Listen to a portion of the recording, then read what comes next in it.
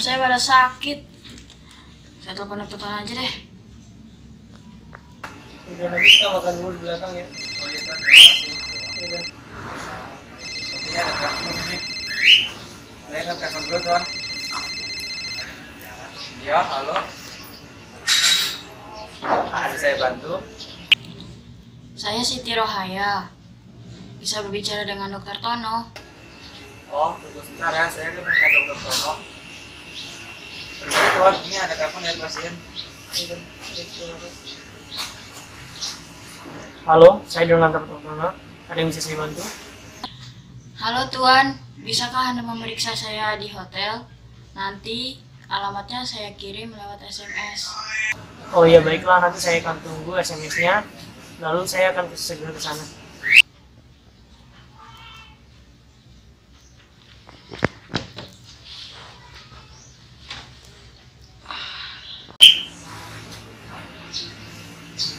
Aduh, Oke, terima kasih Tuan. Setelah menerima telepon kita, kan kita akan ke mana Tuan? kita akan ke tempat pasien di hotelnya, terus alamatnya nanti ada udaranya. Oh nanti dia bisa dia. Oh, baiklah Tuan. Saya akan pak aku siap-siapkan barang-barangnya. Yaudah, ayo.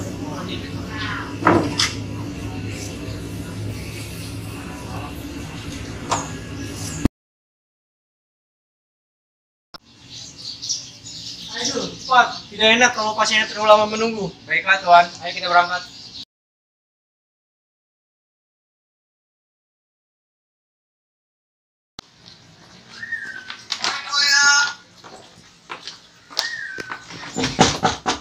Permisi.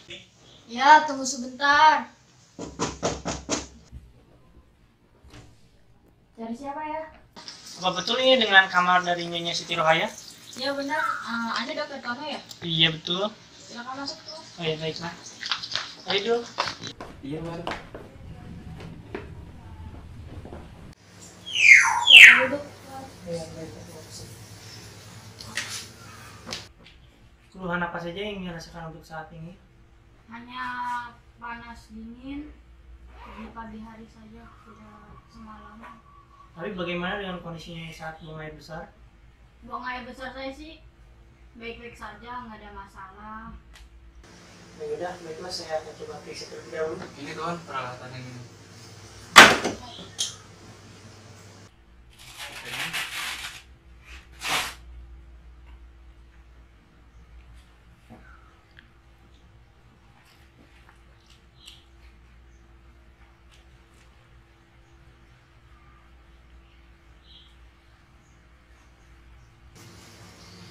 ini. Ini Tuan.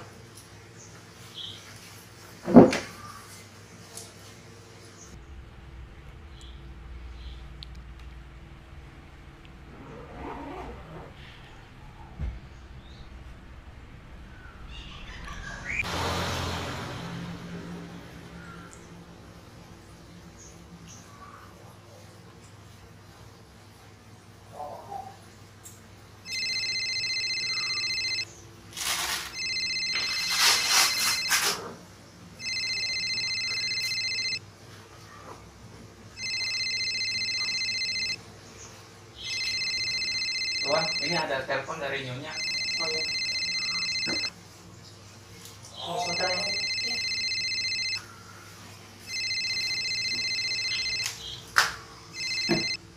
Halo, Halo Tono, bisa tidak kamu jemput saya di acara? haruskah saya yang menyebutmu sekarang?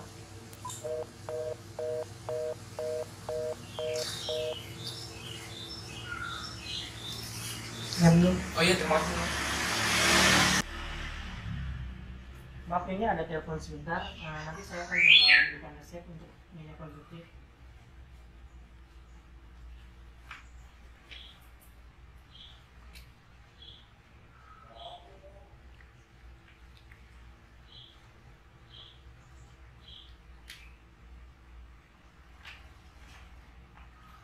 Ininya resepnya jangan lupa diminum secara teratur agar minyak bisa sembuh kembali. Selanjutnya eh, kami izin pamit dulu. Ya.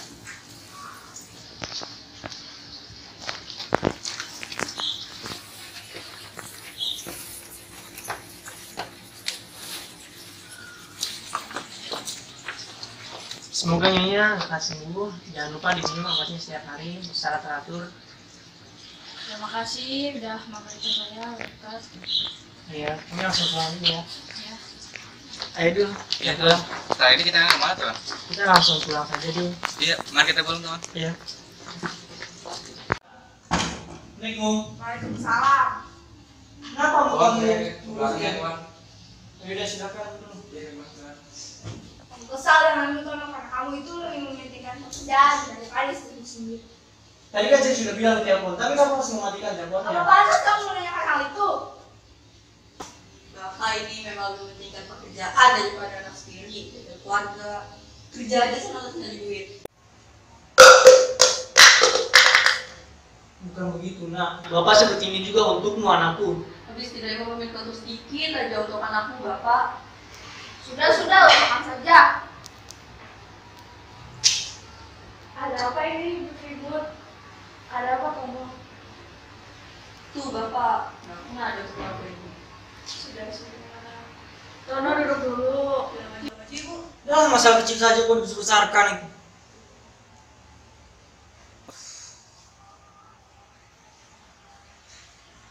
Permisi tuan. Ini ada surat untuk tuan. Pamit aja ya. Terima kasih dulu. Iya tuan, sama-sama.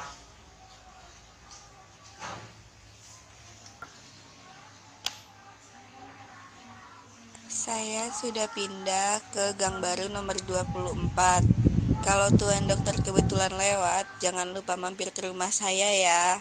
Siti Rohaya. Rupanya dia mengharapkan aku datang. Sudah.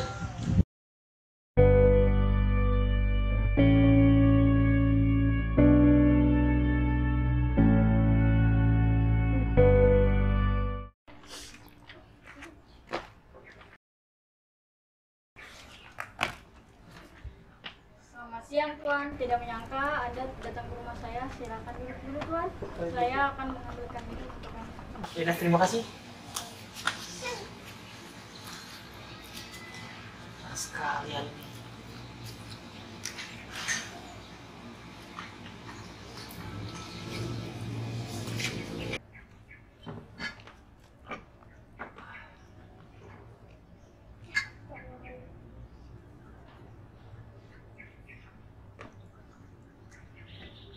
Akan diminum Tuan.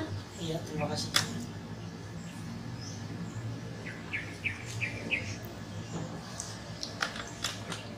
Kau sudah mengirakah aku datang hari ini? Benar, tadi malam aku tahu bahwa mimpiku akan menjadi kenyataan hari ini. Dan ternyata benar, kita bertemu lagi hari ini. Kamu pernah ngerasa nggak kalau kita pernah bertemu dahulu? Apa maksudmu? Maksudku, kita bisa berkenalan lagi. Kalau dahulu saja kita pernah berkenalan, mungkin sekarang kita menjadi sahabat. Tiada engkau pernah bertemuku dahulu. Barangkali benar katamu itu, maka tiada jarak salah melihat. Tetapi aku melihat wajahmu sangat mempesona. Bisa saja kamu.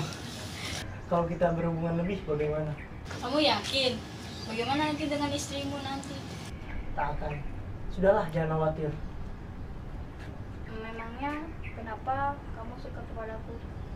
Karena berjumpa denganmu adalah mimpi indah dan kini sudah menjadi kenyataan. Itu kan Tono. Siapa tuh dia?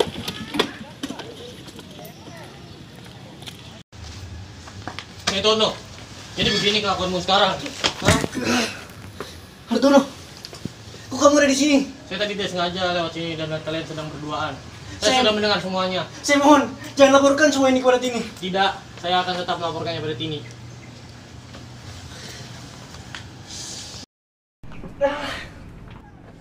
Bagaimana ini Siti? Ayo kita kejar dia! Baiklah, ayo. Ayo!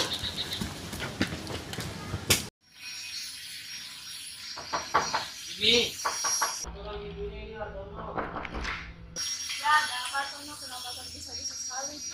Saya, tadi melihat suamimu sedang berselingkuh dengan tetangga baru saya. Mana mungkin kamu? Saya melihatnya sendiri, saya berani bersumpah. Tini, Terima kasih Hartono. Tono, apa benar yang dikatakan oleh Hartono? maafkan saya Tini. Dasar laki-laki tidak punya hati. maafkan saya, saya Aku tidak mau bermaksud. kita bercerai sekarang juga. Ada apa ini ribut-ribut? Itu bapakmu selingkuh dengan Tahu nggak, ibu kecewa sama kamu. Maafkan saya, Bu. Saya menyesal. Apalah guna menyesal, Tono? Bapak, bapak katanya hanya mencari nafkah untukku. Tapi mana bapak malah selingkuh. Sama tante ini lagi. Maafkan Bapak, Aminah. Bapak menyesal. Udahlah, percuma. Udah kita pergi aja, Bu. Tini, maaf. Saya akan bawa Mina pergi. Maafkan saya, Tini. Tini, jangan tinggalkan aku. Tini, Udahlah, percuma kita mau pergi.